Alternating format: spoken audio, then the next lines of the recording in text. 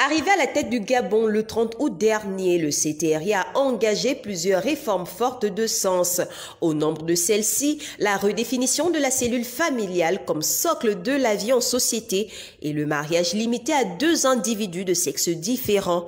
Un postulat qui exclut d'emblée la possibilité de l'union homosexuelle, qu'elle soit maritale ou fruit d'un simple concubinage. Ainsi donc, la logique voudrait que la repénalisation soit de mise.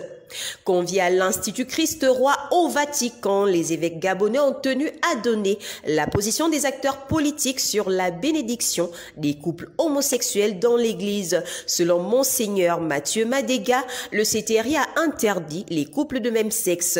Une injonction consignée dans la charte de la transition en son article 25. Dans la dite disposition, le Comité pour la transition et la restauration des institutions sonne le glas des espérances des défenseurs de la cause LGBTQIA+. Car au-delà de l'acceptation des unions légales, les membres de la communauté gay seraient depuis pris en grippe par ceux qui estiment qu'ils n'ont pas de raison d'être dans une société attachée à ces valeurs ancestrales qui recusent cette pratique sexuelle.